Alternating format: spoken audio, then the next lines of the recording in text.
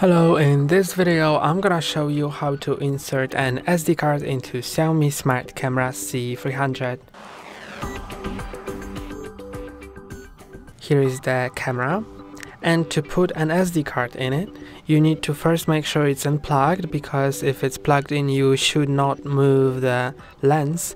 But when it's unplugged you can just move the lens upwards and you'll see an SD card slot and now in order to put an SD card in here, take your micro SD card that's uh, that is sold separately and just put it right in and make sure to pop it in until it clicks. So it's kind of tricky but I get it eventually.